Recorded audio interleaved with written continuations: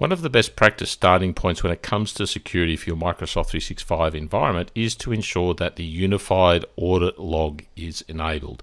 Now, the unified audit log is basically the event log for your cloud environment. Now, if this is not turned on, events aren't captured and you'll be prevented from being able to query uh, for any issues or any hunting that you may want to do down the track. Now, to enable the unified audit log, what we need to do is go into the compliance settings. So, firstly, go to your main menu, log in as an administrator with the appropriate rights. You'll see the option here on the menu to select compliance. Select that, that will open the environment here, which you can also navigate to directly using compliance.microsoft.com. Under the solutions here, you'll notice that there is an audit option. Select that, and in this case, this tenant has it enabled because we can go in here, for example, and we can uh, enter our user details. We can also uh, modify the dates, the times, select folders, and also uh, select any actions in here. And then we run a query, you'll see that we get back a set of results from that. Now, from there, we can drill into any one of these individual queries, get more information about. So this is very handy if we do have to track down issues or troubleshoot um, security challenges.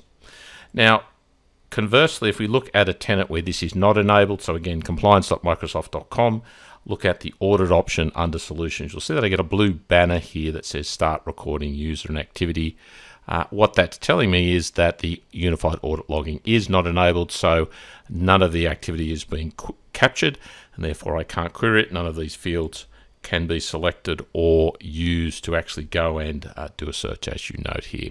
So if there is an incident or there is something we need to check in the security, it's going to be very difficult to achieve that because we don't have this capability enabled. Now, all you need to do to enable this is simply select the blue banner across the top and it will start recording uh, all the events from that point forward. So it is not retrospective, it'll only start from the point that you select moving forward and then you'll be able to go in and do any queries uh, that you need to. And the big benefit, as mentioned, is that once you start accumulating these events, you'll be able to use those to better troubleshoot uh, your environment. Now, remember, there is no uh, performance issue or additional cost to enabling these audit logs and also remember that you should check any existing tenants that you have and new tenants that you spin up because this logging capability may not be enabled by default. So go in, go to the Compliance Center as mentioned, compliance.microsoft.com, go into Audit under Solutions and make sure that you uh, don't see a blue banner with the text that's displayed here and also verify that you can go in and do a query based on users and activities.